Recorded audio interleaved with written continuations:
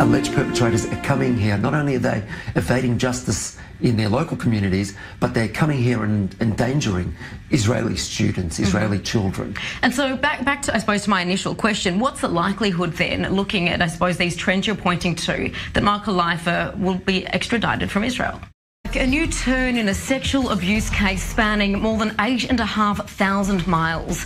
A Jerusalem district psychiatrist today saying that former Australian school principal Malka Leifer is fit to face an extradition hearing in Israel over the alleged sexual abuse of girls. The former head of the Adass Israel School in Melbourne, an ultra-Orthodox institution, is wanted on 74 child sexual abuse charges in Australia, allegedly committed between 2004 and 2000. 2008. Now, fled to Israel a decade ago and was arrested in February after a massive Israeli police undercover operation. Australia has been seeking her extradition since 2014. Now, Manny Waks is a child sex abuse survivor who's now a major advocate for other victims. He's been instrumental in exposing sex abuse in the Jewish Australian community and was also a major player in the Royal Commission into child sex abuse in Australia. And he joins me in studio.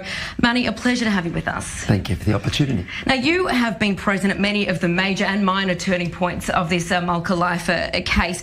Today, the court has ruled that she's fit for an extradition hearing. What's the likelihood that she ultimately will be extradited? Uh, it's important to note, firstly, that uh, the court hasn't ruled that the, uh, has recommended district, district psychiatrist right. Uh, has recommended mm -hmm. that, uh, it, she is fit to stand trial, which is a major development. Um, and what we're seeing is that there is yet another delay in this ongoing saga, which has been going on for several years, uh, where now the defence has the opportunity to prepare a case to cross-examine mm -hmm. um, those who have provided their um, recommendations and to bring their own new recommendation, a new psychiatric assessment, um, and we'll go from there. So um, that's going to happen all on the 14th of November.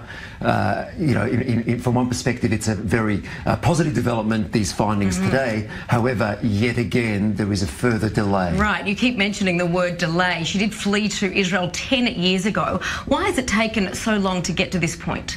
Well, firstly, uh, she not only did she flee uh, Australia, she was uh, supported in the fleeing process by the Adass Israel leadership. Uh, it was found that they had purchased her ticket, the tickets the day they found out about it. So um, clearly there is some issues around that and they should be held to account um, for what they did there.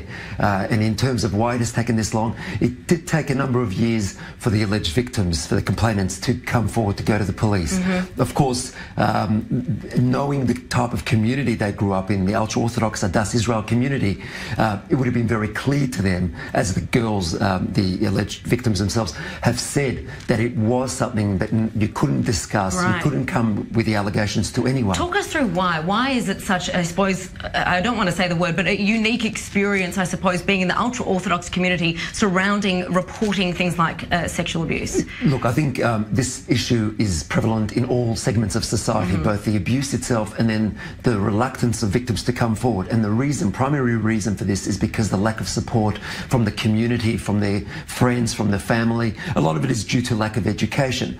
But if we add in, uh, for example, the Jewish community, similarly to the Catholic Church, when there are religious elements, um, it, the more closed the community, the uh, higher probability for these types of offences to go mm -hmm. unchecked and to be covered up. So it's really important that we have as much transparency and accountability accountability as we can. The fact that you're, you're, saying that she was almost helped to flee. What what is that pointing to? Well, it's it, she wasn't helped to flee. They actually purchased her tickets. I mean, they arranged uh, for her to get what out of the country. What does that expose, though, about the environment here? Look, we've seen such cases in many other communities, including within the Jewish community right around the world. I and many others are certainly uh, very optimistic that it will happen. The biggest issue is the time, uh, the length of time it's taking to get there, and um, that's certainly causing uh, a great deal of frustration and a whole lot more for her uh, brave victims who have come forward to uh, take these allegations. I mean, let's not forget the,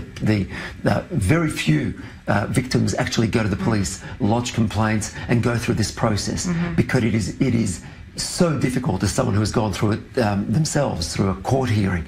It really does um, cause many triggers, uh, and I personally know some of these victims, and I know what they go through, and it's not easy. And therefore, it's important also to take this message of these courageous girls, these sisters who have gone public and exposed themselves in the pursuit of justice, and in that process, they are not only getting justice for themselves, but they're continuing to raise awareness about this most important issue in our community. And they are standing up there as role models. And they need to be applauded and supported by the Jewish community and the leadership in the Israeli government, as we have seen. But I certainly hope that we get to see that uh, to come to fruition where we actually see uh, Malka being held to account in Australia. Manny, you're doing important work, and it's been a real uh, pleasure to have you here with Thank us. Thank you so much.